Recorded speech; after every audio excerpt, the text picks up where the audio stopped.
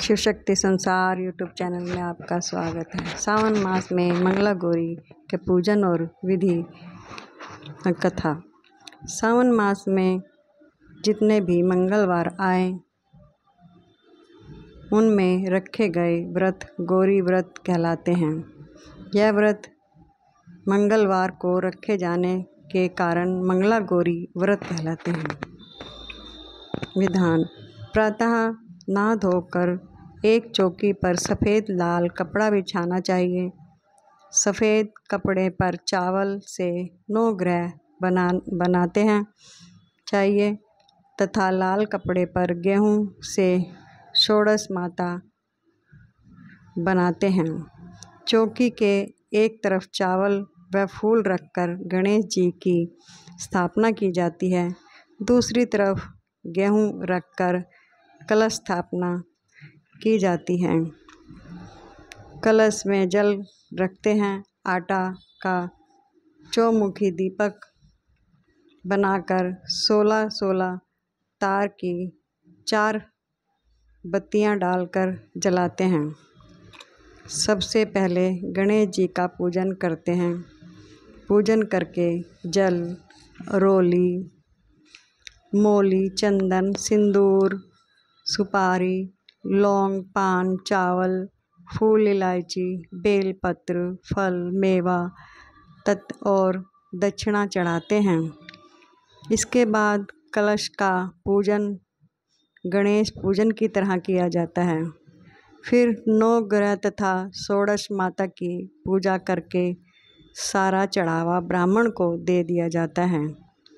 इसके बाद मिट्टी की मंगला गोरी बनाकर उन्हें जल, दूध, दही आदि से स्नान करवाकर वस्त्र पहनाकर रोली, चंदर, सिंदूर, मेहंदी व काजल लगाते हैं। सोलह प्रकार के फूल पत्ते माला चढ़ाते हैं। पाँच प्रकार के सोलह सोलह मेवा, सुपारी, लौंग, मेहंदी, शीशा, कंगी व चूड़ियाँ चढ़ाते हैं। अब कथा।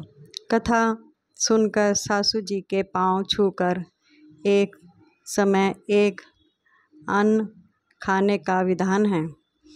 अगले दिन मंगला गौरी का विसर्जन करने के बाद भोजन करते हैं। उद्यापन की विधि। श्रावण मास में मंगलवार को व्रत करके के बाद इसका उद्यापन करना चाहिए। उद्यापन में खाना वर्जित है। मेहंदी लगाकर पूजा करनी चाहिए। पूजा चार ब्राह्मणों से करनी चाहिए। एक चौकी के चार कोनों पर केले के चार थंब लगाकर मंडप पर एक ओढ़नी बांधनी चाहिए। कलश पर कटोरी रखकर उसमें मंगला गौरी की स्थापना करनी चाहिए। साड़ी, नथ व सुहाग की सभी वस्तुएँ रखनी चाहिए। सावन के उपरांत कथा सुनकर आरती करनी चाहिए। चांदी के बर्तन में आटे के सोलह लड्डू, रुपया या साड़ी सासू जी को देकर उसके पैर छूने चाहिए। पूजा कराने वाले पंडितों को भी भोजन कराकर धोती व अंगोछा देना चाहिए। अगले दिन सोलह ब्राह्मणों को जोड़े सहित भोजन कराकर धोती, अंगोछा तथा ब्राह्मणियों को सुहाग पिटारी देनी चाहिए। सुहाग पिटारी में सुहाग का सम्मान व साड़ी होती है। इसका सब करने के बाद स्वयं भोजन करना चाहिए। बोलिए, शंकर भगवान की जय।